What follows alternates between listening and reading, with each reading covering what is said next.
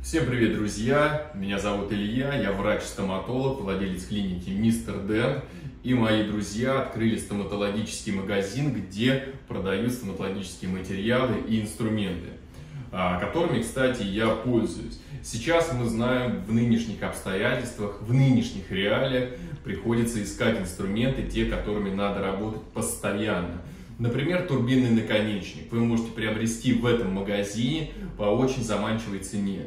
А, этими турбинными наконечниками я сам пользуюсь постоянно в своей практике и очень всем рекомендую делать так же. Заказывайте, ссылка ниже. С большим удовольствием представляю нашего нового спикера. Это Суракель Илья Борисович, врач-стоматолог, ортопед и хирург, э, руководитель клиники Мистер Дент и автор, в общем-то, стоматологического канала, к которому вы также потом сможете э, подключиться и посмотреть э, «Дневник дантиста», ну и член Евразийской стоматологической ассоциации. И тема у нас сегодня, друзья, крайне важная, и я бы сказала, что очень современная, да, это применение именно микроскопа в практике врача-стоматолога. Все, на этом этом я передаю вам слово. Если что, я за кадром. Если что, извините, буду выходить. Так, ну что ж, друзья, всем добрый день. Вот сегодня мы собрались а, по поводу очень интересной и такой важной темы. А, мы поговорим про применение операционного микроскопа в практике врача-стоматолога. А, зачем он нужен, в каких случаях его необходимо применять а, и вообще, насколько это необходимая вещь в клинике в настоящее время, в 21 веке. А, про себя, в принципе, меня уже представили. Единственное, что скажу из данного момента, то, что мой стаж работы с операционным микроскопом уже более пяти лет. То есть у меня есть а, наработки по тем моментам, а, когда надо применять микроскоп, в каких случаях он уже не имеет для меня смысла, он мне не нужен. То есть по процессу своей работы я выработал те а, протоколы, где нужен микроскоп, а где не нужен. И это очень такой важный момент, потому что многие коллеги, которые начинают работать с микроскопом, пытаются его, так сказать, применять во всех а, моментах, но это делать а, можно не делать. Микроскоп. Что же это такое? Мы должны понимать, вот эта знаменитая такая фраза «мы лечим то, что видим». Именно микроскоп позволяет открыть нам новые горизонты в нашей практике. Бывает такое, что, вот знаете, профессиональное выгорание, такое понятие, вот именно микроскоп а, в свое время помог мне этого избежать. Потому что рутинная практика, а, она надоедает, потому что все делаешь одно и то же. Но когда я приобрел свою клинику микроскоп, для меня открылись новые горизонты, и они вообще не имеют никаких ограничений. Я стал видеть, я стал а, замечать многие моменты и протоколы своего лечения, где были ошибки, где не было ошибок, и именно это помог мне сделать микроскоп. И вот про сегодня, про это мы, в принципе, с вами и будем говорить. А, сейчас на рынке представлено очень большое разнообразие микроскопов. А, тем более, вот, э, что сейчас происходит на нашем стоматологическом рынке. Сейчас на рынок выходят и э, китайские микроскопы, и индийские микроскопы, но есть такие вот столпы а, мировой медицины, мировых брендов микроскопов. Это компания Zeiss, это компания Carl Caps, вот красненький кружок, это вот американская компания Labomed, как раз тот микроскоп, который я часто использую в своей практике, и CJ Optic. Это вот такие сейчас прям топовые бренды, которые применяют. Но также есть и Altion, китайские, есть топовые китайские Zoomax микроскопы, которые тоже имеют высокую там цену и высокое качество сборки, высокое качество линз и вот передача информации через окуляры. А, каждый микроскоп, он имеет свои фишки, имеет свои нюансы, но это можно понять только когда ты долго работаешь с микроскопом, садишься точно так же, как и на машину, и понимаешь, вот как он работает и как он ездит. Мне по своей практической деятельности довелось провести много учебных мероприятий, и, в принципе, на каждой линейке микроскопов я поработал, и мне есть чем сравнивать. И я понимаю, какой микроскоп хороший, а какой, возможно, чуть хуже. А, разберемся вот по моментам приобретения микроскопа. Вот как только приобретают в клинику микроскоп, я бы рекомендовал сразу руководителю и врачам собраться вместе и понять, нужен ли микроскоп и будут ли на нем работать в клинике сотрудники. Потому что если микроскоп будет не актуален в клинике, то есть на нем не будут работать, ну, он превратится в такую вешалку, пылесборник, он будет там красиво в углу стоять в чехле, и никто на нем не будет работать. То есть а, руководитель и врачи должны себя мотивировать на работу с микроскопом.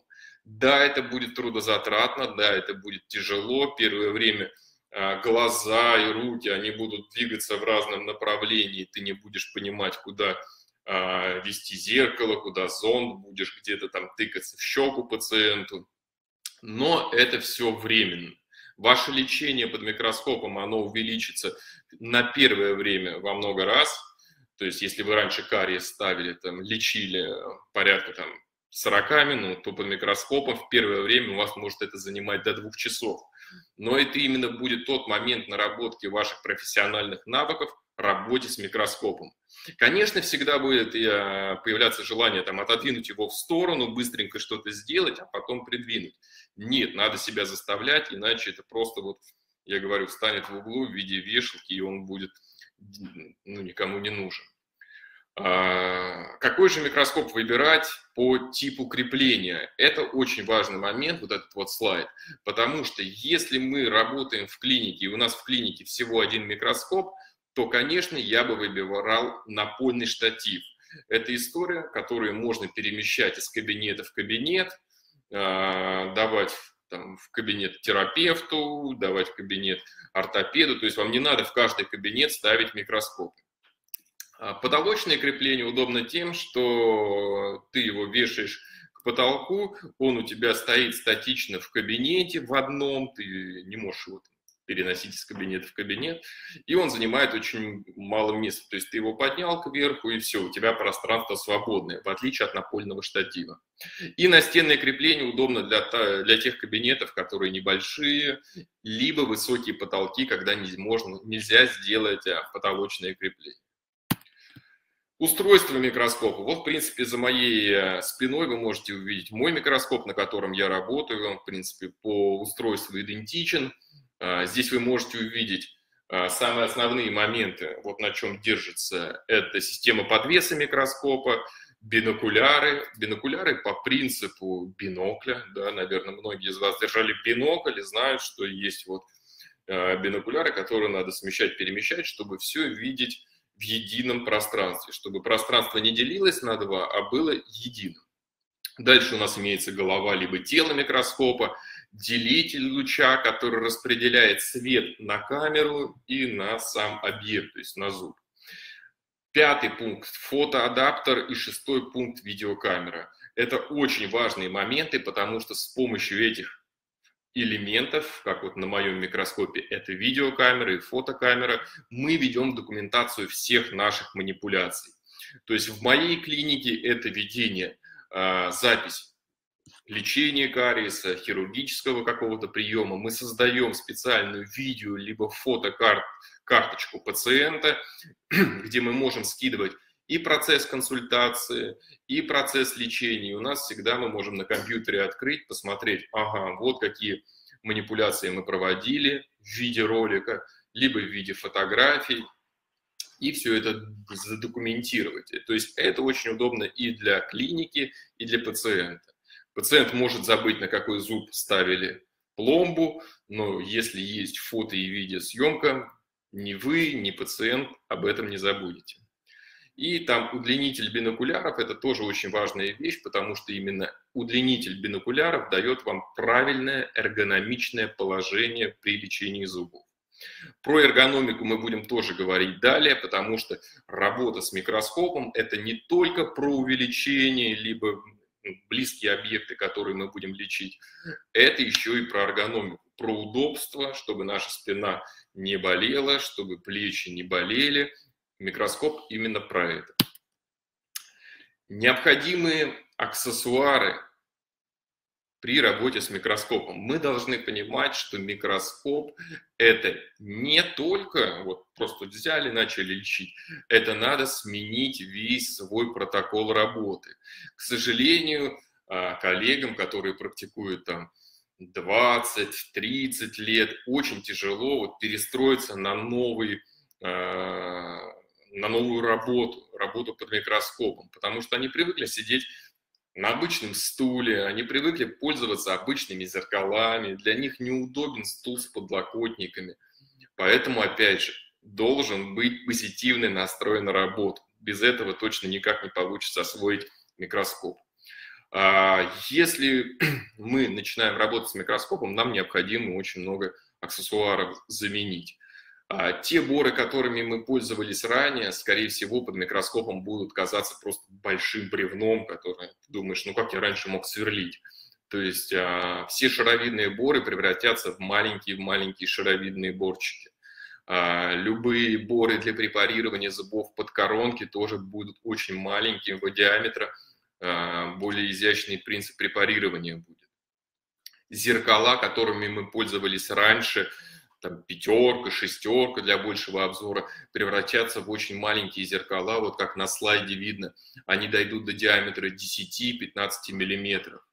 Зеркала будут нужны специальные, яркие, родевым покрытием, а, что тоже будет, э, может быть, не так бюджетно для клиники, как она раньше не закупала такие зеркала, но вот придется приобретать. Вот в моем случае я работаю зеркалами релакс, как вот на нижнем на нижней фотографии. И, например, в хирургической практике при апикальной микрохирургии, а, при ретроградном пломбировании каналов я принимаю, использую зеркала диаметром 3 мм, 5 мм. Все это, как правило, немецкое производство, поэтому за этим придется на данный момент и поохотиться, чтобы найти, и немного вложиться в плане бюджета приобретения данных аксессуаров. Далее, немаловажный момент, вот я сейчас сижу на своем стуле, это стул с подлокотниками. Это тоже немаловажный момент, потому что именно стул с подлокотниками помогает вам, во-первых, держать спину при, долгом, э, при долгой работе с микроскопом, во-вторых, разгружает вашу спину, потому что у вас есть упоры, и позволяет проводить манипуляции только кистями. То есть вы не работаете уже полностью руками, вы работаете только кистями, как микрохирург под микроскопом, только-только руками. Поэтому для этого нужен стул с подлокотниками. Это тоже такая небюджетная история, но крайне необходимая, потому что я часто вижу в интернете фотографии либо видеоролики, где показывают, как врач красиво сидит за операционным микроскопом, но ты понимаешь, что он сидит там без стула с подлокотником, не с теми зеркалами, а, там, использует э, не, те, не тот вид оборудования, который необходимо использовать при данной манипуляции. Ну, то есть такое постановочное видео для рекламы клиники. Если вы не хотите приобретать стул с подлокотниками, есть сейчас большое количество на рынках отдельных подлокотников. Вот, например, снизу э, я добавил такую фотографию. Э, это вот отдельные подлокотники, которые просто фиксируются на любой э, стул врача-стоматолога. Они универсальные, есть специальные зажимы, их можно фиксировать. Ну и, конечно, вот э, самый интересный стул с подлокотниками, немецкий, это вот синий стул с хирургическими фиксаторами на нижней части, там где колесики. То есть вы нажимаете, и стул двигается по всем осям. Вы можете зафиксировать его спереди, вы можете отъехать, зафиксировать его сзади, и все это делается только ногами. Это очень удобно, потому что бывает такое, что ты, когда смотришь микроскоп, не отрываясь, тебе надо как-то сменить положение, вся работа осуществляется ногами. То есть тебе уже не надо куда-то отрываться, лезть рукой, все осуществляется ногами. Применение в практике а, врача-стоматолога операционного микроскопа. А, конечно же, мы можем применять его во всех дисциплинах, кто на что гораст. Но здесь надо понимать, что освоение каждой дисциплины требует очень долгого времени. А, я попробовал во всех дисциплинах, это и ортопедическая, и хирургия, эндодонтия, и гигиена полости рта. Кстати, вот сегодня мы будем говорить про гигиену полости рта под микроскопом, потому что это очень такой а, щекотливый вопрос, надо ли применять микроскоп при чистке зубов. И я вот покажу несколько видеороликов, снятых со своего микроскопа, и вы подумаете, надо ли вам это или нет. А, скажу сразу, где бы я в свое время сейчас уже меньше применяю микроскоп. Это хирургический прием. В свое время я делал и имплантацию под микроскопом, и э, синус-лифтинг под микроскопом. Сейчас под микроскопом я провожу только какие-либо пластики десны, это туннельные техники, либо закрытие рецессий. Там, где мне надо большое увеличение, я работаю, например, очень тонкими нитями, там 6.0, либо 7.0. И, конечно же, применяю в хирургии при апикальной хирургии. То есть, когда мне надо проводить ретроградное пломбирование каналов, мне надо сделать а, маленькое отверстие в кости, чтобы подобраться к а, корню зуба. Больше в имплантации я не использую, при синус-лифтинге не использую. Все-таки мне там нужна большая мобильность. Микроскоп не дает мне такой мобильности. Хотя, например, я знаю многих докторов, которые в имплантации, в синус-лифтинге используют операционный микроскоп. Они себя очень заставляют э, работать, у них навык наработки очень высокий такой level в ортопедической стоматологии. Сейчас мы с вами пойдем дальше по дисциплинам, в которых применяется микроскоп, в которых я применяю микроскоп, и я расскажу, для чего же он там нужен. А, в ортопедической стоматологии понятно, так как мы препарируем зуб, чтобы границы препарирования наши были лучше, мы должны видеть лучше. А, проведение качественного препарирования зубов под виниры, под коронки я провожу только с применением микроскопа, никак иначе. Возможно, я могу провести какое-то черновое препарирование, но дальше я для создания идеального глянцевого уступа а, использую только микроскоп. А, создание предельно точного слепка. Ну, понятно, если мы хорошо и качественно отпрепарировали зуб, то э, мы должны получить идеальный слепок, сделать хорошую нежную ретракцию, не травмировав десну, тогда у нас получается все классно. Контроль попадания фиксирующего цемента в а, промежуточные пространства между зубами. Это тоже очень важный момент, потому что под большим увеличением микроскопа я могу аккуратно отодвинуть десну, убрать, почистить весь цемент, а, там, где необходимо его убрать, если цемент попал в промежутки между зубами, я могу подобраться туда либо ультразвуковой насадкой, либо э, насадкой с эндочаком и аккуратненько убрать оттуда цемент. Ну, бывают такие случаи, когда случайно засветил, в контакт попал, и оттуда надо все это дело э, почистить. Конечно, обычным бором туда не полезешь, надо максимально им, там, мини-инвазивно туда подобраться. Определение плотности реставрации на этапе примерки. Конечно, микроскоп позволяет увидеть точное прилегание уступок поверхности зуба, посмотреть, нет ли никаких ступенек, нет ли каких-то больших зазоров цементных, где у нас будет фиксироваться конструкция. Это тоже очень важный момент. На этом этапе можно еще отправить работу к технику и как-то доработать ее. А, контроль качества расположения, закрепления конструкции. Тоже очень важно, это в принципе относится к четвертому пункту. То есть как качественно сидит а, работа на отпрепарированных зубах, будь то виниры, будь то коронки. А, определение плотности десны, которые контактируют на этапе виниров, коронок. То есть мы смотрим, если мы погрузили уступ под десну, мы можем его аккуратно отодвинуть и посмотреть, как там прилегает. Конечно, невооруженным э, под микроскопом это увидеть можно. Без микроскопа это увидеть почти невозможно. Работа будет казаться сидит великолепно, но на самом деле она сидит не очень хорошо. Диагностика ортопедических конструкций, установленных в э, полость рта. После фиксации бывает такое, что под микроскопом мы можем увидеть микротрещину, микроскол конструкции и уже повестить об этом пациента, либо отправить работу на переделку. Либо на этапе консультации порой приходят пациенты из других клиник, реферативные пациенты, и ты можешь оценить у них качество прилегания конструкции, дефекты конструкции, уже проведут там, пациенту объяснить, что вот смотрите, этот винир у вас треснутый, его желательно заменить. Либо этот винир треснутый, но никаких эстетических таких нарушений он не несет, поэтому пусть он будет фиксированный на вашем зубе. Можно произвести герметизацию.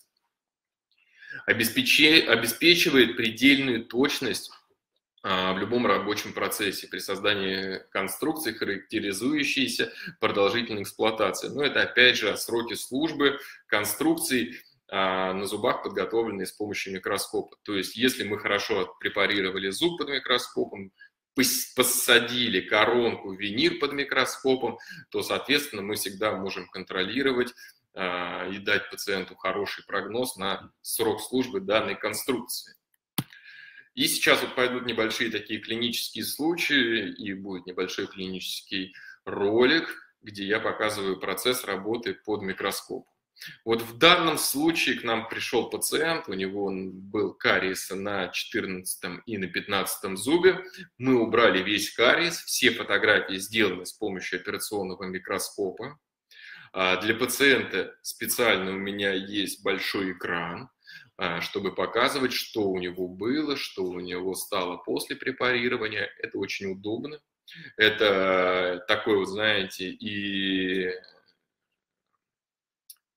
менеджмент подход для пациента, потому что когда ты пациенту объясняешь, что у вас кариес на зубе, немногие пациенты, честно скажу вам, знают, что такое кариес.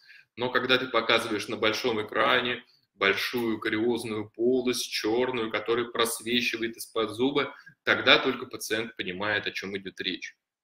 Бывает такое, что пациенты из другой клиники ко мне приходят и говорят, у меня нашли три кариеса, а вы нашли там семь кариесов. Потому что, опять же, применение операционного микроскопа на большом увеличении позволяет мне увидеть начальный кариес, а, кариес в стадии пятна, контактный кариес, что просто взглядом, конечно же, не увидеть. Но в данном случае мы увидели, что здесь присутствует, скорее всего, контактный кариес, потому что, понятно, просвечивает 14 зуб на контакте, и 15 зуб имеет тоже кариозное поражение. Мы убираем все кариозные поражения, мы убираем немного, коагулируем десну по контакту и думаем, что же делать дальше. Так как на 15 зубе у нас очень большая кариозная полость, мы даже видим, просвечивает пульпарная камера, 15 зуб мы решили а, депульпировать. Здесь мы наложили кофердам, расширили канал, сделали с а, гудоперчивым штифтом снимок и запломбировали канал. И вы уже можете видеть по фотографии, сделали небольшой build-up, восстановление зуба. А, тоже мы все делаем это под микроскопом для того, чтобы было максимально качественно. А, всегда на всех этапах мы еще все сверяемся с рентгеновскими снимками, чтобы видеть, что нету никаких нависающих краев и всего прочего. Дальше в моей клинике мы имеем полный цикл изготовления керамических конструкций. Я работаю на системе церок. А, мы сканируем, мы сразу фрезеруем, мы в печке подкрашиваем, и уже фиксируем в полости рта. Например, данная работа была выполнена э, в один прием, а ее тайминг был порядка там полутора-двух часов от момента лечения зуба, препарирования и фиксации коронки. А, вот у нас идет этап фиксации коронки. Здесь у нас есть изоляция. Мы использовали для изоляции а, метод, который в свое время предлагал Денис Крутиков, просто фум-лентой. Наша задача была хорошо изолировать зуб, отпескостроить зуб с помощью рандофлекса, мы это сделали, и зафиксировали керамическую коронку. А на 14 зуб на контакте мы поставили просто композитную реставрацию. Ну и конечный результат мы имеем вот на фотографии наш 15 зуб. Кажется, что он такой более пузатенький, объемный, но это лишь по причине того, что он сам по своей анатомии был чуть больше. А, чем удобно иметь полный цикл? То, что мы сразу в клинике фиксируем работу и какие-то доработки мы тоже можем а, делать прямо в клинике, не отпуская далеко пациента. И вот опять же интересный такая, такой видеоролик, это препарирование зубов под микроскопом. Здесь мы уже провели момент ретракции, и сейчас мы проводим полировку э, уступов. А, я всегда работаю с временными коронками, то есть на данный, данный этап у меня всегда будет заканчиваться изготовлением временных конструкций для того, чтобы было, произошло созревание, десны, чтобы образовались зубы-десневые сосочки. Но здесь задача была какая? Показать именно, как это выглядит под микроскопом. Это название моего канала. И вот, пожалуйста, на минимальных оборотах я провожу э, полировку уступа. Сначала она идет специальной такой вот резиночкой тоненькой, она не травмирует десну, поэтому никакого, вот, никакой проблемы она не приносит. Дальше мы идем, берем специальные полировочные резинки компании Care Optic Clean и уже дорабатываем наш уступ до глянца. То есть вот прям видно, как уступ э, становится блестящим. Конечно, при снятии оттиска с такого уступа техник будет видеть все границы без каких-либо проблем, и прилегание реставрации в таком случае будет очень хорошее. Вот я добавляю увеличение, и мы видим, что уступ, но он просто прям вот горит, блестит. Пожалуйста, вот получаем идеальный, хороший глянцевый уступ. Это у нас была вот фронтальная группа зубов, передняя группа зубов, понятно, да, здесь ничего тяжелого нету, здесь можно и обойтись просто бинокулярами, без микроскопа, но как быть, когда мы работаем в жевательном отделе? А, микроскоп позволяет нам при грамотной манипуляции головой пациента покрутить ее в разные стороны, чтобы увеличить обзор, мы можем проводить препарирование и жевательной группы зубов. Конечно, нам нужны мануальные навыки работы в зеркало, но мы не забываем, что голова пациента тоже подвижна, поэтому ее можно тоже крутить, в принципе, в тех направлениях, чтобы вы могли под микроскопом четко смотреть, как вам надо. А, вот, пожалуйста, этап ретракции десны. Смотрите, как она проходит нежно, без какого-либо давления, под контролем микроскопа. Здесь мы берем хорошее увеличение, степень увеличения и проводим ретракцию десны. Пожалуйста, все участки, в принципе, зуба нам видны. Мы не видим только дистальную поверхность, но, опять же, с помощью зеркала, хорошего родиевого зеркала, мы пожалуйста, осуществляем ретракцию и дистального отдела зуба. Укладываем ретракционную нить. А, зеркала у нас, вот, как я говорил, релакс, очень яркие, хорошую цветопередачу осуществляют. И проводим дальше препарирование зуба. Пожалуйста, под, под контролем микроскопа мы можем уступ погружать под десну, можем работать на уровне десны. Микроскоп позволяет нам все эти манипуляции проводить под контролем. И вы должны понимать, что, например, препарирование данного зуба, оно не осуществляется в какой-то неудобной позе. Это все просто вот под прямым обзором со стулом с подлокотниками. Я сижу ровненько и просто смотрю в окуляры и произвожу процесс препарирования зуба. Верхний шестой зуб никакой проблемы в его препарировании нету. Опять же, смотрите, я не травмирую десну, провожу бор довольно-таки нежно по поверхности зуба, и никаких проблем здесь не возникает.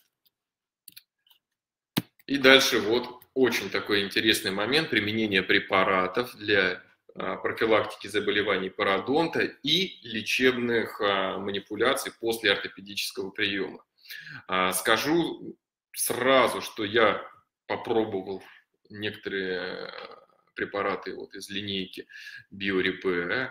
Мне они очень понравились. На данный момент я, например, использую пародонта гель, а, также использую Protection Mouse Wash, вот Gum Protection, очень удобный раствор, очень, а, в отличие от многих ополаскивателей для полости рта, он действительно создает такой вот эффект, мне нравится, он такая плотная консистенция, очень освежает полость рта, э, ароматизирует ее. Мне очень нравится.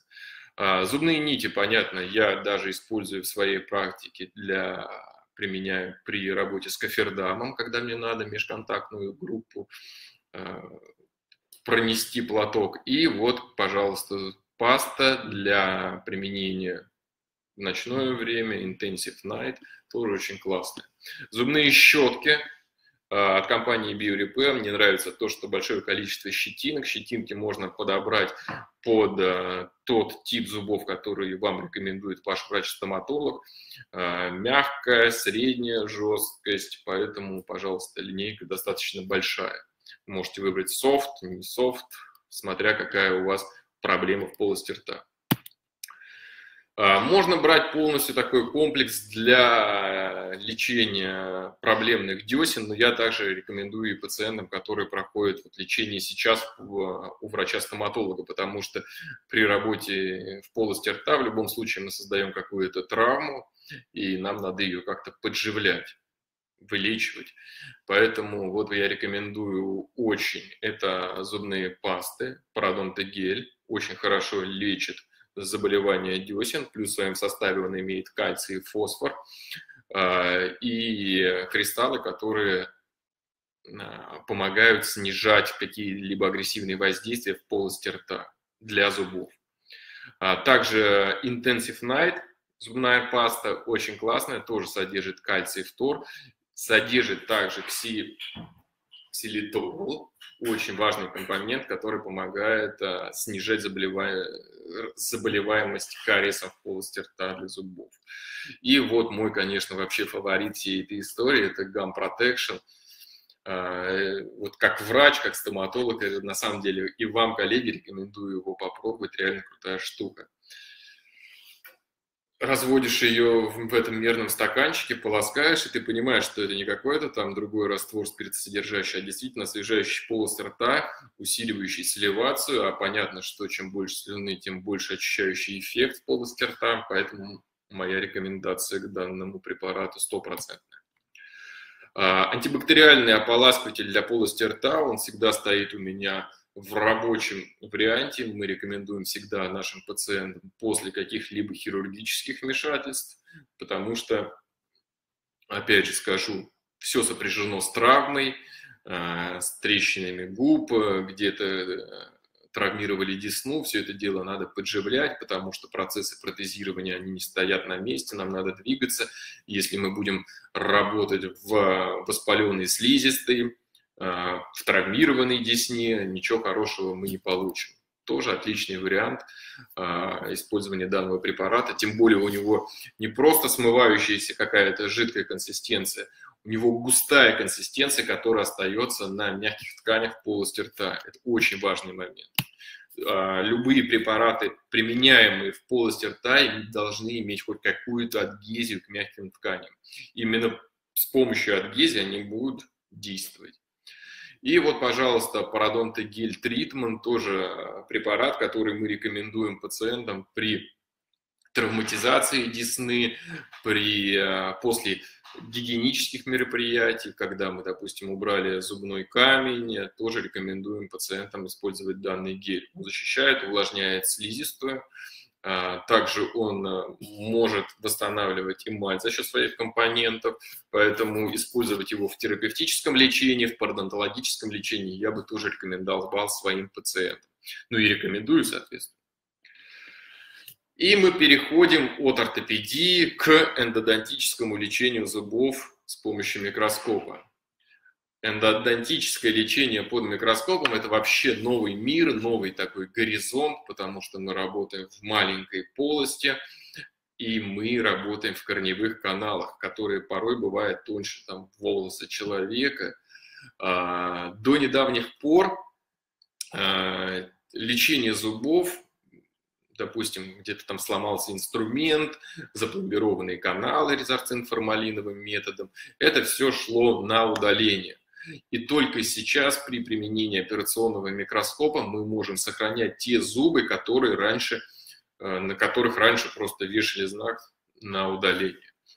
Э, например, в своей практике при применении микроскопа я провожу такие вещи, как извлечение сломанных инструментов, извлечение штифтовых конструкций в корневом канале, допустим, там э, стекловолоконный штифт, либо металлический штифт, все это можно убрать под большим увеличением.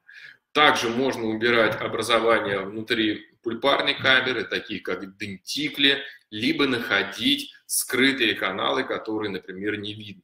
Там МБ2, МБ3, МБ4 бывает такое, что можно все это находить и проходить с помощью микроскопа, потому что микроскоп позволяет тебе увидеть пульпарную камеру и увидеть угол работы с корневым каналом. Под каким углом, где заходить в корневой канал. Если здесь есть эндодонтисты, они понимают, о чем идет речь, да, бывает, что там МБ2 находится под таким критичным углом, что бывает, ну, без микроскопа, без оптики просто туда не подобраться. Микроскоп позволяет эндомотор развернуть так, как удобно, и зайти в этот МБ2 под каким бы углом он ни находился. А, микроскоп сегодня не является таким обязательным инструментом в клинике, но на самом деле я в своей практике не представляю работу а, без микроскопа, будь то эндодонтическое лечение, будь то ортопедическое лечение, будь то хирургическое. Без микроскопа я не начинаю работать. Мой рабочий день начинается то, что, допустим, там, в 10 часов я сел за микроскоп и начал принимать пациента и заканчиваю работу тоже под микроскопом. Поэтому это очень такой вот важный момент. А, вот, пожалуйста, еще один такой ролик клинический. Это лечение зуба с применением микроскопа. Здесь, пока вот я не включил ролик, вы можете увидеть, насколько важно иметь качественные зеркала опять же, возвращаемся к моменту аксессуаров для стоматолога. Вот отражение должно максимально точно, без каких-либо искажений, без какой-либо потери яркости передавать вам всю информацию по микроскопу. А, в эндодонтическом лечении преимущество микроскопа – это создание пульпа а, самого трипанационного отверстия. Конечно, без микроскопа врач выпилит в зубе вот такую вот полость, чтобы ему было визуально видно, где он там лазит, э, где, как он начинает проходить корневой канал. Микроскоп позволяет нам создавать точечный доступ, либо, как в нашей среде говорят, ниндзя-доступ. Если врач хорошо знает анатомию зуба, а, то он создает точечный доступ. Вот, например, в данном случае, в данном видеоролике я использовал просто э, шаровидный бор и одним движением прошел в пульпарную камеру. Вот, пожалуйста, здесь идет этап ирригации корневых каналов с помощью гипохлорида. Все визуально у меня под контролем. Вот посмотрите, как видны устья каналов. Это просто вот точечка. Все, больше мне не надо рассверливать зуб. Больше мне не надо рассверливать зуб. И если вы обратите внимание, какой это зуб, коллеги? Это зуб, покрытый керамической накладкой. То есть операционный микроскоп позволяет мне также работать и на витальных зубах, которые были запротезированы какими-либо конструкциями. Мне не надо ее как-то а, проводить ее сильное разрушение этой конструкции, либо снимать эту коронку. Я могу точечно, почти невидимым а, там, создать трепанационное отверстие, потом его закрыть по принципу шахты импланта, и все, никакого дефекта коронки я не создам. Э, эстетического дефекта тоже никакого не будет. Поэтому микроскоп – это очень классная штука. Бывает такое, что покрыл зуб керамической коронкой, витальный зуб, а он через какое-то время разболелся. Пожалуйста, вы можете пациенту сказать, я вам сделаю минимальное трепанационное отверстие, удалю нерв, запломбирую канал, и вы никогда не увидите а, место этого, где было проведено лечение. То есть не надо снимать коронку, не надо снимать виниры и вкладки. Все можно проводить с помощью маленьких отверстий с применением микроскопа. Немаловажно, потому что ну, без микроскопа я сомневаюсь, что можно создать такой мини-инвазивный доступ. Также вот, например, э, извлечение каких-либо штифтов из корневых каналов. Опять же, мы имеем хороший обзор, обзор через зеркало. Пожалуйста, с помощью ультразвука я провожу извлечение металлического штифта из корневого канала специальными такими круговыми движениями. вибрирую по штифту и, пожалуйста, тем самым его извлекаю. Мне не надо как-то рассверливать там вокруг штифта, либо еще какие-то манипуляции с ним проводить. Просто аккуратно мы работаем по штифту и его извлекаем. Вообще вы должны понимать, что работа с микроскопом – это сохранение, это мини-инвазивность, это минимальные вмешательства. Я вообще а, считаю, что работа без микроскопа, ну это такой вот, знаете, экстрим, экстрим. Применение в эндодонтии средств профилактики. Ну, понятно, не только в эндодонте, возможно, я бы сказал, и в терапевтическом варианте, потому что мы понимаем, что есть кариес, есть налет, есть зубной камень, и здесь нам нужны а, препараты, которые оказывают профилактику.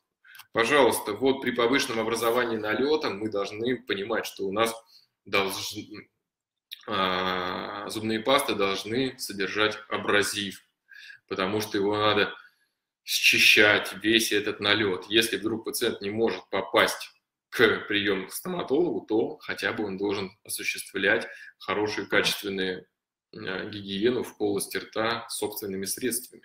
А, и вот данный, вот, например, препарат – он очень классно э, закрывает и микротрещины, э, он э, помогает убирать налет с помощью абразива, и также он содержит лактоферин, действующий как антибактериальный агент. Но еще немаловажно, он опять же содержит цинк и ксилитол.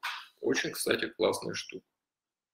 А, потому что, кстати, мы знаем, что причина возникновения у нас а, кариеса – это бактерии, Streptococcus mutans, опять же, и его надо как-то убивать в полости рта, и данная паста очень с этим хорошо справляется. Интенсивно, но, пожалуйста, ночной уход и увлажнение кстати, э, если вы не знаете, что у нас ночью происходит процесс очищения полости рта с помощью усиленной саливации. То есть именно слюна помогает нам очищать все наши зубы. И чем лучше мы увлажняем нашу полость рта, тем меньше у нас возникает раз каких-то либо а, микротрещин, поражений на слизистой полости рта, но также у нас и увлажненная слизистая увеличивает саливацию. Тем самым она и у нас очищается, все зубы. Но здесь также у нас содержатся ионы цинка и опять же ксилитол, который борется вот э, с причиной возникновения кариеса. Это бактерии Streptococcus mutans. А, опять же, немаловажный момент – это чувствительность а, зубов с которой приходят почти все пациенты. Помимо того, что я могу пациенту под микроскопом показать микротрещины, либо какие-то придесневые поражения, но я также могу пациенту назначить и средства гигиены, например, такие как биорепе, а, вот понятие такое sensitive, чувствительность, да, все, что может снижать чувствительность. Мне, например, нравится вот применение КАП, а, специальный препарат, а, вот такой вот для реминерализации эмали, микрорепе. Почему мне нравятся капы? Есть категория пациентов, которые любят что-то сами поделать руками. А, и вот когда ты им даешь капу, рассказываешь, что надо делать, очень многие любят дома позаниматься такими вот историями, что-то там для себя внести в капу, одеть, посмотреть, какой будет эффект. А, поэтому я очень рекомендую пациентам данный вот препарат. А также немаловажно, мы понимаем, что если мы пациентам делаем какое-либо отбеливание, профилактические процедуры, что-то типа ультразвуковой чистки, чистки аэрофло, потом возникает чувствительность. И эти зубы тоже надо а, поддерживать какими-то РЭМ-средствами.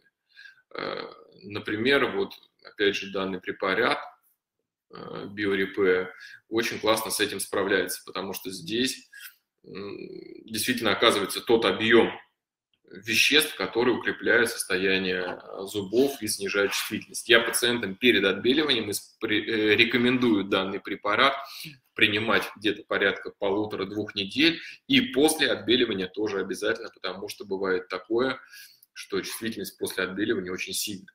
Также при, у пациентов с клиновидными дефектами При эрозии эмали тоже можно назначать данный препарат, но, конечно, пациент изначально должен проконсультироваться со своим стоматологом.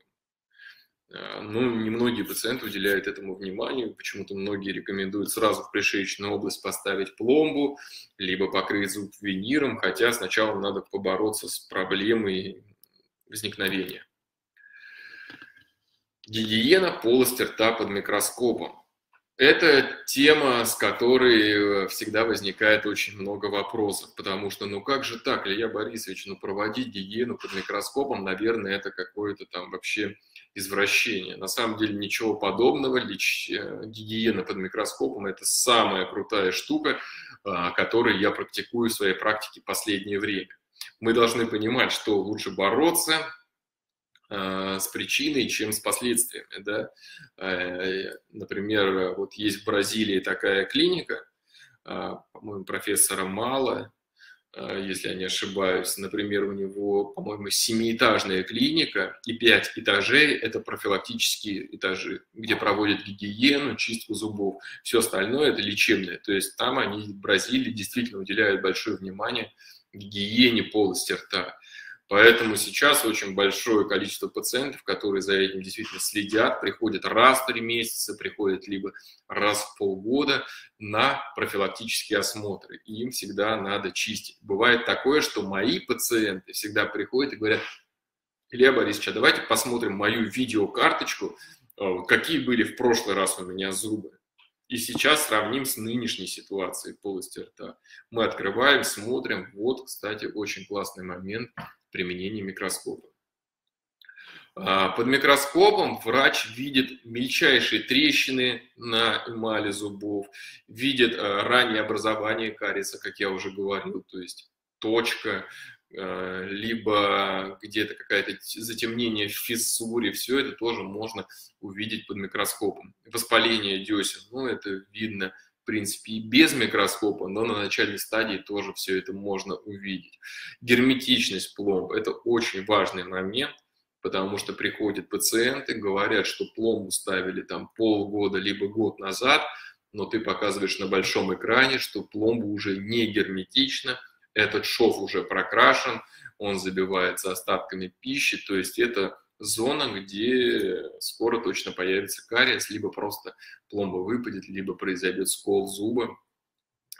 Мягкий зубной налет и небольшие остатки зубного камня. Они тоже очень видны, и причем виден камень не только который на поверхности зуба визуально э, ну, визуально видно, но и под десневой зубной камень. Когда под микроскопом мы из пустора дуем, десна немного отодвигается, и мы видим камень в глубине на поверхности корня. Трещины, рецессии десны, трещины коронки. Пожалуйста, пациентка пришла к нам в клинику, мы смотрим виниры, которые поставили полгода назад, и вот какая ситуация здесь присутствует. Во-первых, можно вот даже по этим трем фотографиям сказать, здесь имеется дефект коронки, который ей установили. То есть вот, пожалуйста, коронка четвертого зуба, она треснула. В принципе, трещина идет продольная. Ну ладно, бог с ней, с этой коронкой, она, если по адгезивному протоколу зафиксирована, пусть стоит, ничего с ней не будет.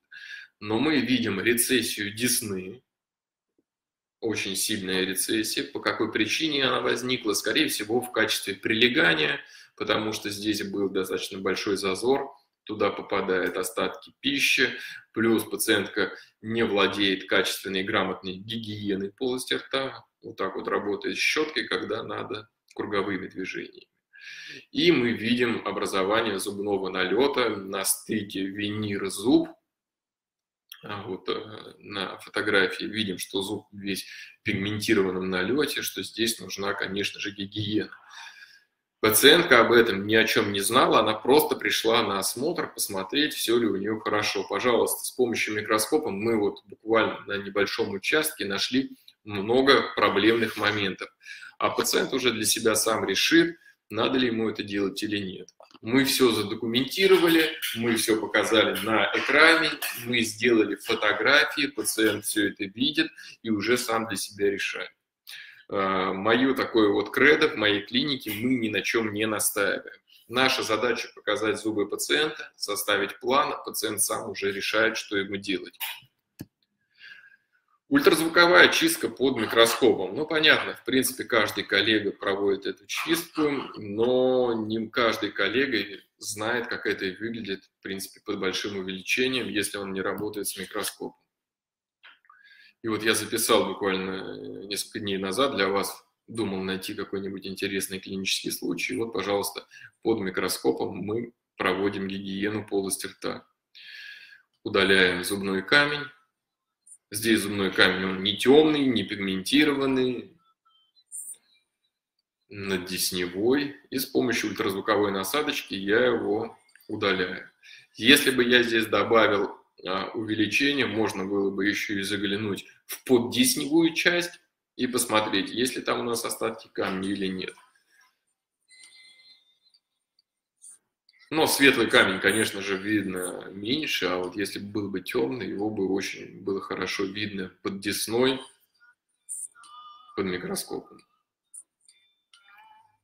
Вот, пожалуйста, ультразвуковая чистка. Но вот когда вы видите данный момент, вы можете все это записать, где-то выложить, а, поделиться с коллегами, показать пациенту процесс.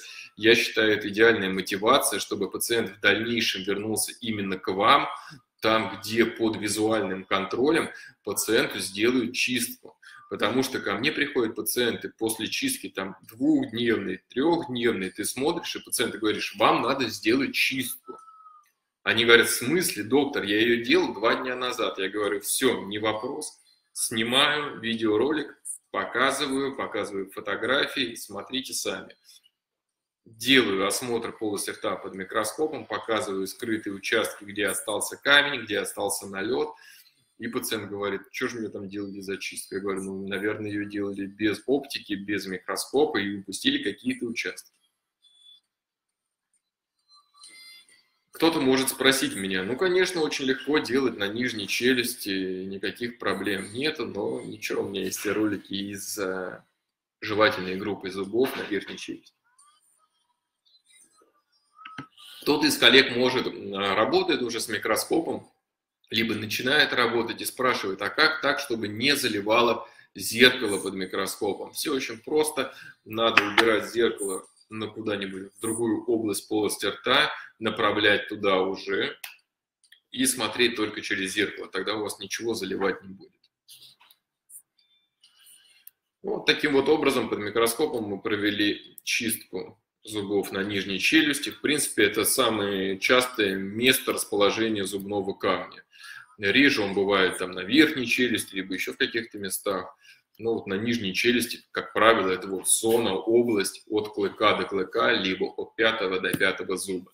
На верхней челюсти реже возникает зубной камень в том объеме, в котором мы привыкли видеть. Airflow чистка. Многие коллеги пренебрегают этой методикой, я ее использую всегда, она у меня идет в комплексе профилактическая чистка зубов, поэтому я всегда рекомендую. Я в своей практике использую аппарат ProfiFlex, вот его можно увидеть, э, и использую очень нежный порошок.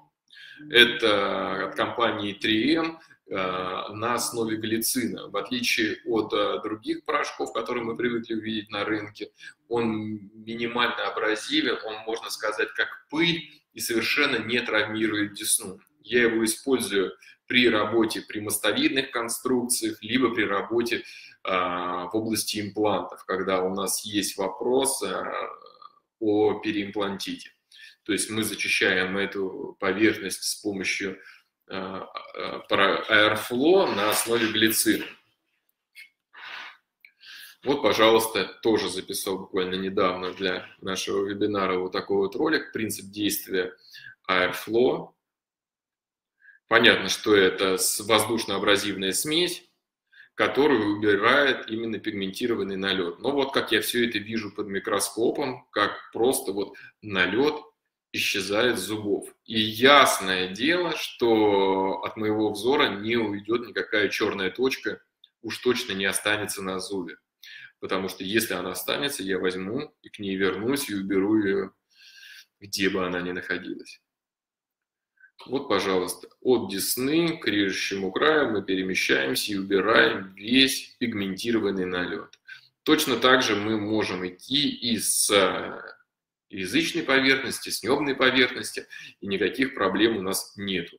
Мы должны не забывать, что голова пациента подвижна. Надо нам почистить, например, левую часть, поворачиваем голову пациента и также под микроскопом все чистим. Потом поворачиваем вправо, также под микроскопом а, чистим жевательный отдел. Все, никаких трудностей вообще нет, просто надо себя заставить и начать. А, зубы, пожалуйста, верхняя челюсть, чистим, нижняя челюсть чистим. Здесь я решил показать э, два метода. Это чистка ультразвуковая и чистка с помощью Airflow. А, знаю многие вот коллеги, почему вот именно вот в таком формате я показываю, они не делают чистку почему-то аппарата Airflow, либо нет его в клинике, они вот так чистят ультразвуком. Это вот, наверное, больше для них, почему они не используют Airflow. Это вот мы сейчас убрали с шестого зуба просто ультразвуком пигментированный налет. Ну, в принципе, такая история тоже имеет место быть. Ну, просто мне не особо нравится, когда тебе по зубу убирают налет долго ультразвук. Сам по себе просто я это знаю. И вот, пожалуйста, дальше я показал метод Airflow, как мы убираем тоже пигментированный налет. Здесь вы даже можете увидеть, как э, когда струя попадает в области десны, там тоже осуществляется визуальный контроль вычищения всех пигментированных участков. То есть струя дует, десна слегка отодвигается, и я могу визуально увидеть, ага, остался у меня там пигментный налет, либо не остался. Может быть, остался камень, тогда я вернусь к ультразвуку и его уберу.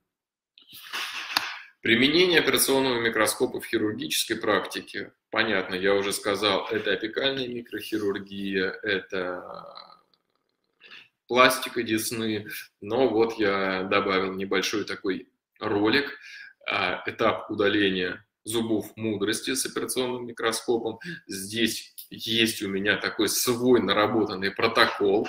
Я работаю стоя, чтобы подобраться к а, любому участку зуба, зуба мудрости и провести его удаление под микроскопом. А, для меня сейчас на данный момент с помощью микроскопа не существует трудных э, восьмых зубов. Все зубы удаляются очень просто.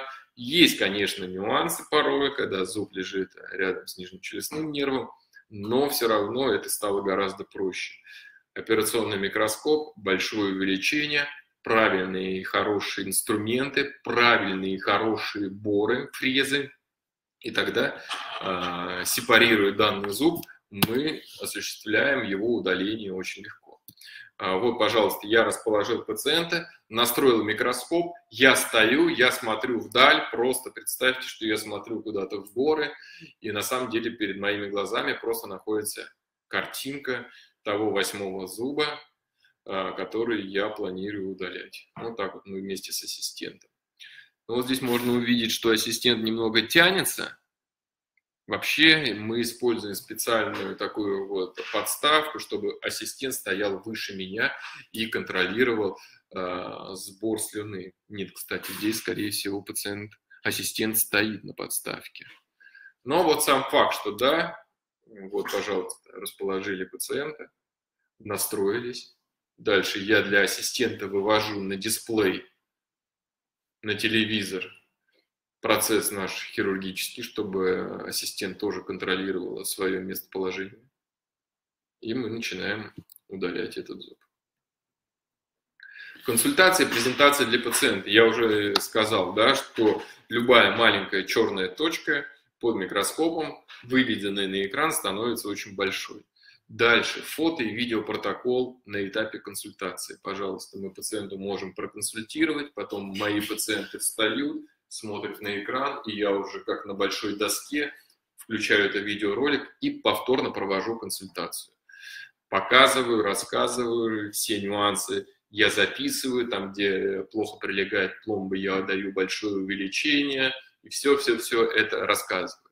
Запись операции для решения спорной ситуации. Микроскоп очень много раз меня спасал, как я и говорил, от э, тех моментов, что где-то пациент что-то забыл, где-то что-то упустил, микроскоп выручает. Там.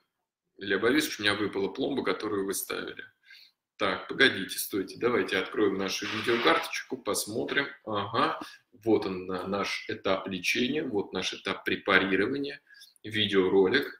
Ага, нет, смотрите, мы ставили пломбочку на, допустим, 15 зубе, а у вас выпала пломба из 14, поэтому давайте ставить на 14 зуб пломбу. Ну и во-вторых, это лечение под микроскопом, это всегда такой вау-эффект для пациента, потому что все-таки сейчас микроскопы не везде, как бы их не пропагандировали, не в каждой клинике они есть, либо есть, но на них не работают, как я уже тоже говорил. Поэтому, владея микроскопом, это всегда такой вау-эффект и престиж клиники. В любом случае вы поднимаете статус. Эргономика. Очень много мы говорили с вами про лечение под микроскопом и преимущества, но вот сейчас мы поговорим под, про эргономику, вообще для чего это надо. Потому что микроскоп это не только про качество, но и про здоровье для самого врача.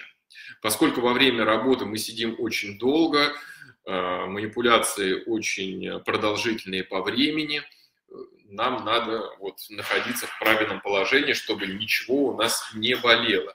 Тело должно быть в расслабленном состоянии, должен быть баланс положения в пространстве, а, поэтому вам нужен, как я уже сказал, очень удобный стул, вам нужно правильное положение, немаловажно, поддержка поясницы вашей спины и, конечно же, подлокотники, которые снимают напряжение со всех предплечий, с плеч, это тоже очень важный момент. Часто на просторах социальных сетей, либо каких-то роликах я замечаю такие моменты, что для хорошей картинки, для показать, что в клинике используется операционный микроскоп, врач сидит неправильно. Ну, вот, конечно же, мы должны сидеть идеально ровно, мы должны соблюдать все горизонты, вы должны смотреть четко вдаль, ваша голова не должна смотреть куда-то вверх, вы не должны тянуться в микроскоп, вы не должны вытягивать шею вниз. То есть вы должны вот сидеть, как вот я показал на фотографии, ровно. Все ваши горизонтальные части должны быть идеально ровно. Руки должны быть на подлокотниках, никаких изгибов, таких, таких, таких, ничего не должно. Вы просто вот сидите и смотрите вдаль в микроскоп. Микроскоп это все хорошо, научиться можно, но без грамотного ассистента эта история такая же бесполезная.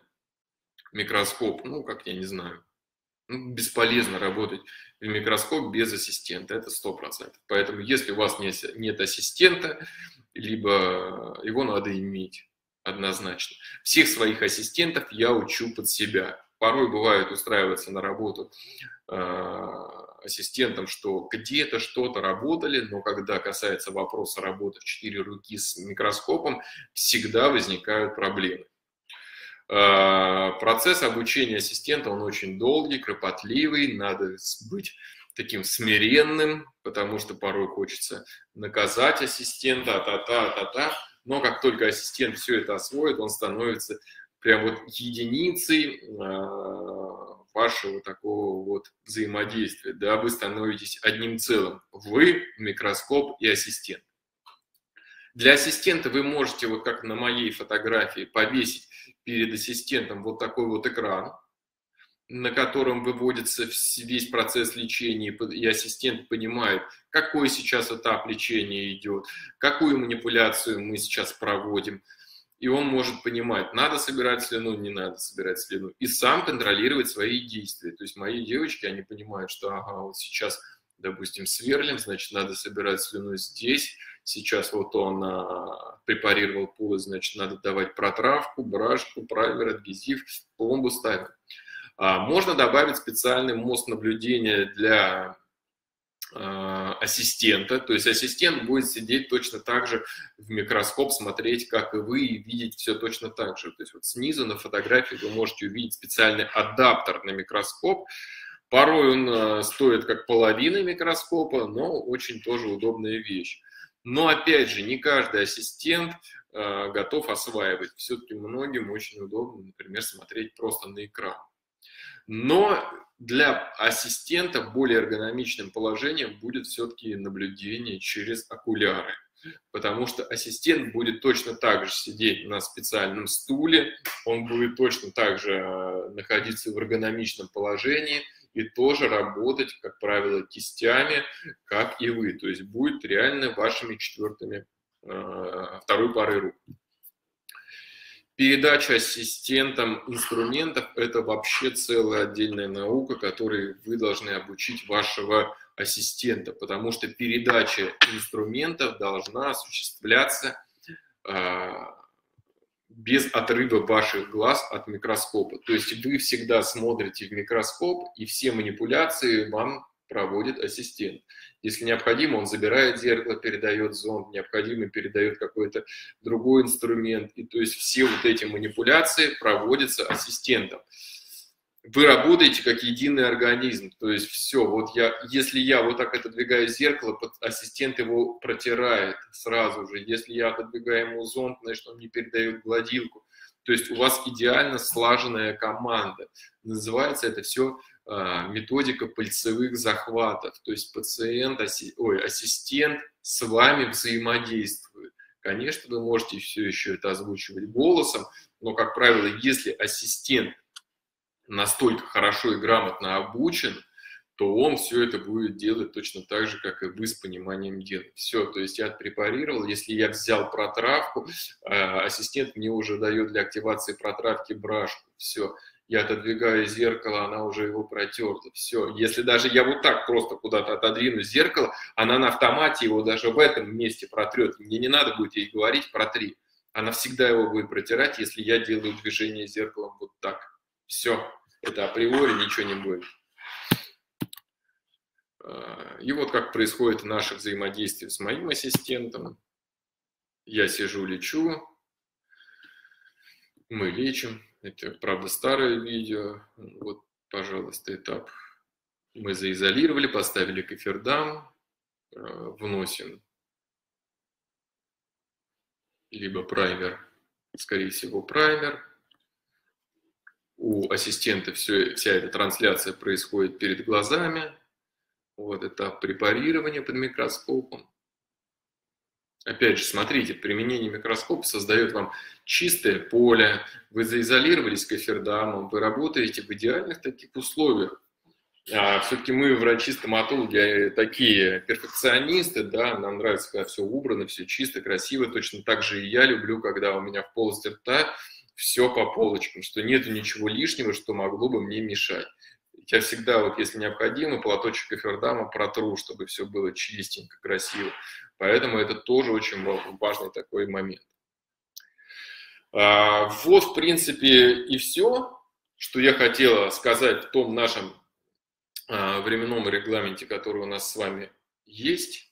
А, вы можете подписаться на мои социальные сети, можете подписаться на мой YouTube-канал «Дневник дантиста», он очень большой, я выкладываю очень длинные ролики, он есть и на английском, а, для а, англоязычной аудитории там выкладываются одни ролики с субтитрами, либо с озвучкой английской, либо есть YouTube-канал с русскоязычными вариантом, да, где мы рассказываем интересные клинические случаи из мира стоматологии, либо просто мы делимся какой-то полезной информацией. И очень много клинических случаев, снятых под микроскопом, тоже на этом YouTube-канале.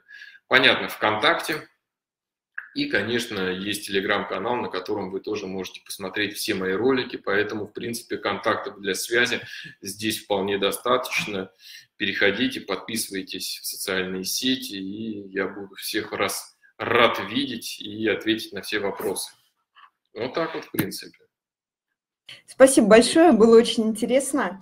Так, а, уважаемые участники, сейчас есть возможность задать вопросы. Вы пишите чат, если они у вас возникли. Я немножко вопросов насобирала в ходе эфира. А, сейчас, собственно, их попробую зачитать, но что-то, может быть, уже просто отвечали, что-то нет. А, здесь я вижу, что был вопрос по микро, микроскопу Zoomax. Ну, вообще просто спрашивают, как вы к нему относитесь. Отличный, да, отличный микроскоп. Сейчас очень много на рынке. Олег Бронин занимается вот, поставкой их в Россию, поэтому можно выбрать любую комплектацию для себя. Сейчас есть топовые комплектации, автоматизированные, с магнитными механизмами, поэтому выбор большой. Классный микроскоп. Угу. Угу. Так, и вот я вижу еще вопрос про Airflow. А разве можно ее проводить гигиену с Airflow под микроскопом и сколько по времени длится процедура под микроскопом? И также вопрос, сколько стоит у вас проведение а, профгигиены под микроскопом? Профгигиена у нас по стоимости это 10 тысяч рублей. Это комплексная такая услуга, это удаление наддесневых отложений, поддесневых отложений – аэрфло, шлифовка, полировка зубов и уже рекомендация по профгигиене и опять же вот тех препаратов, например, от компании BioRepair от чувствительности. Мы, например, там капы вот эти назначаем, поэтому тоже очень классные. То есть это вот все порядка 10 тысяч рублей. И Airflow, да, у нас всегда под микроскопом проходит. Единственное, что микроскоп, конечно, от этого страдает, потому что все-таки пыль от него летит, но потом надо просто проводить обычные стандартные гигиенические мероприятия. Мы даже иногда, бывает, пылесосим, меняем фильтра какие-то, ну, так, все как обычно. Airflow а, без микроскопа, я говорю, я очень часто встречаю эти случаи, когда не дочищено, хотя делали Airflow. И контроль, контроль после чистки я всегда еще повторно, раз-два, пробегаюсь под микроскопом, точно смотрю все уголки полости рта, мало ли на каком-то зубе остался где-то налет. Супер. Так, э, где располагать зеркало, насколько близко или далеко от зуба? И есть ли вообще нюансы в расположении зеркал на верхней челюсти и на нижней? Да, работа всегда с дистальными поверхностями на зубах, это всегда очень трудно, на это надо очень приноровиться работать, это с первого раза никогда не получится. Но я всегда, если я понимаю, что мое зеркало сейчас будет заливать струю воды, либо там от ультразвука, либо от Airflow, я его просто смещаю в противоположный угол полости рта, фокусируюсь только на зеркало, а зеркалом уже направляю на те зубы, которые будут проводиться там лечение, чистка и все прочее, чтобы мне не заливало. Просто меняем положение, отводим зеркало как можно дальше и все. Либо есть такая старинная история, что пациент, ассистент может из пустера вам как-то сдувать воду, которая попадает.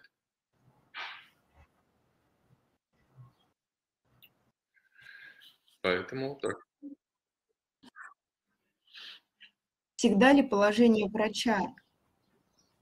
Всегда ли положение врача на 15 да, часов при проведении всегда. профгигиены? Да, всегда. То есть мы не рассматриваем вариант, когда э, вот эти картинки, опять же, из интернета, когда там врач и из своего вот этого положения там, на 9 часов вот так же поворачивает микроскоп и также как-то проводит лечение. Всегда на 12 часов. Э, вообще, ну, я уже привык просто на, на 12 часов сидеть, и все манипуляции могу проводить только из 12 часов. Мне не надо никуда крутиться. Опять же, это есть такая возможность до комплектации микроскопа. Есть поворотные кольца, которые помогают при работе с микроскопом, есть а, комплектация мора и прочее, прочее, прочее, но это уже такое углубление в комплектации микроскопа, чтобы сидеть только вот на 12 часов, допустим.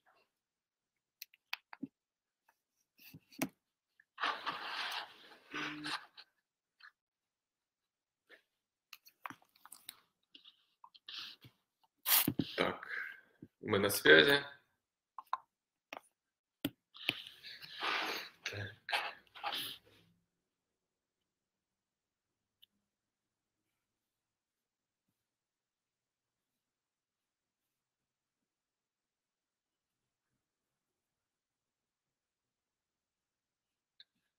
Меня слышно?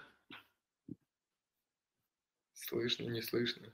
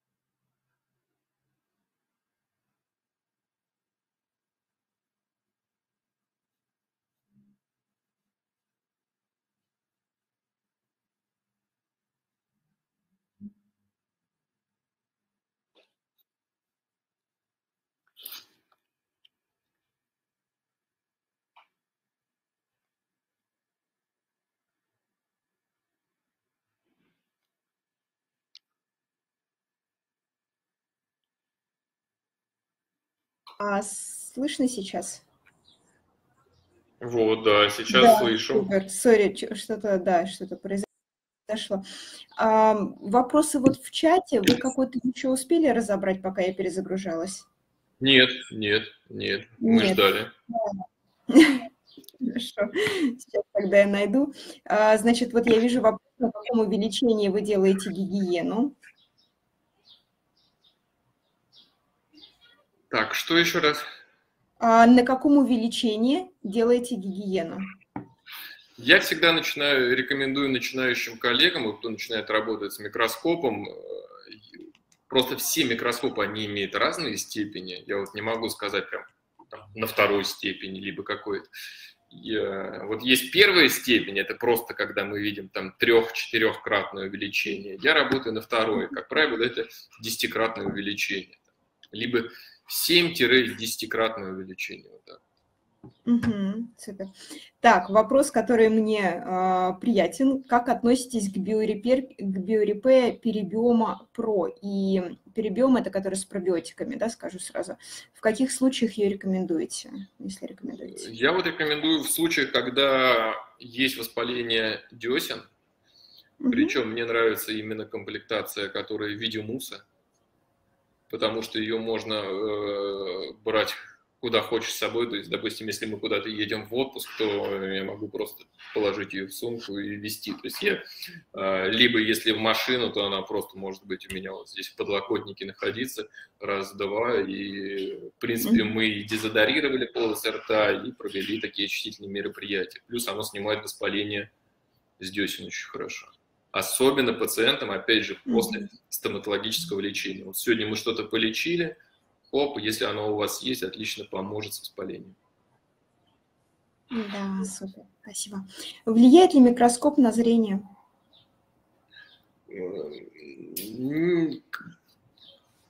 Вот э, как сказать, как сказать. На зрение не влияет, но на первое время будет очень тяжело. Э, привыкнуть, надо к нему адаптироваться, потому что первое время врачи, которые начинают э, работать с микроскопом, они говорят почти об одном и том же. Такое ощущение, что меня раскачали на каруселях, и мне сейчас все кружится, тошнит и mm-hmm. все. А потом все нормально. Но здесь возникают именно больше такие возрастные изменения, потому что зрение у всех со временем портится. Все равно мы работаем с мелкими объектами. Без этого никак. Ну да, тоже такие издержки. Ну, да. Ну, здесь уже спрашивают про вашу клинику, где находится в Москве, в Москве ли, сколько кресел, врачей, вообще как... Э, э, клиника у нас находится в Московской области, город Фрязино, это Наукоград. Население города у нас очень маленькое, там, порядка 52 тысяч, но все пациенты едут в большинстве случаев из Москвы. Здесь до Москвы 27 километров, поэтому э, действительно есть клиники в городе, которые лечат наших местных э, жителей, а мне почему-то доводится всегда каких-то москвичей, либо э, вот, людей, которые ближе к Москве. Угу, угу, супер, спасибо. Спрашивают, нужно ли разводить опарласкиватели биорепея. Ну, я тут отвечу, что нет. То есть они специально сделаны такой консистенции. То есть, конечно, их можно да, разбавить, но я не развожу. Смысл. Я не развожу. Мне наоборот нравится вот эта вот тягучесть ее какая-то. Mm-hmm. Допустим, то, что вот раньше я использовал, это все жидкие вот эти растворы. Здесь вот эта вот плотная консистенция, она реально очень классная. Угу. Оно у меня, возможно, тем ты и так вот это подзадило, что он прям, прям выполаскивает так плотно. Супер, хорошо. Так, ну, смотрите, я думаю, что будем уже вас отпускать, да, а, мы сделаем следующим образом. Уважаемые доктора, если вы не успели задать вопрос, переходите, пожалуйста, по ссылке в Телеграм-канал, потому что мы там сделаем пост а, о том, что у нас прошел вот такой вебинар, и вы можете в комментариях написать, а мы Илью Борисовича попросим там потом а, зайти посмотреть, может быть, на да. некоторые ответить, да, вечерком, когда будет. Вот, я думаю, что это будет более правильно. Ну что, я вас благодарю, очень было здорово. Да, очень рад с вами пообщаться, рассказать, поделиться информацией. Угу. Да, Все, всем большое спасибо и ждем вас на следующих программах. Да. Спасибо. До свидания. До свидания.